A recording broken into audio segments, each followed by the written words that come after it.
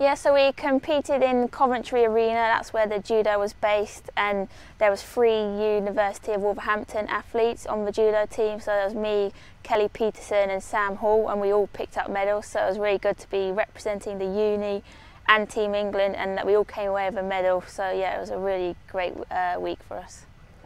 Yeah, so it was an amazing experience from start to finish. Uh, obviously I was selected for Glasgow last minute, like two days before. So it was good to have a bit of a preparation camp and a good lead up into this Commonwealth Games and I could invite all my family and friends to watch and everyone was there supporting me and Team England did amazingly well. We got 13 medals so yeah it was really good to be part of that and just part of Team England as a whole. You definitely felt the home advantage with friends, family there, all the officials, like they were British or English, so you just felt like everyone was on your side and just travelling up the road basically to compete, whereas other people were having to get used to time differences and different weather and stuff, so we were just basically on home ground. So yeah, you definitely felt there's a home advantage competing for Team England, yeah.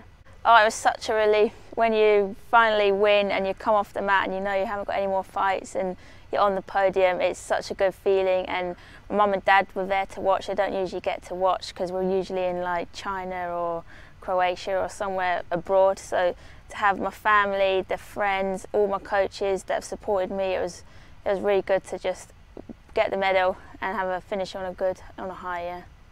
Probably be uh, my mum being there. She didn't tell. She told me she wasn't able to come, and then I didn't know she was there. And after I come off my bronze medal match, I seen her standing at the end of the crowd, and I ran over to her, gave her a massive hug. So yeah, that was probably my best memory. I think for me, the next thing is the World Championships. That's in October, so that's my next focus.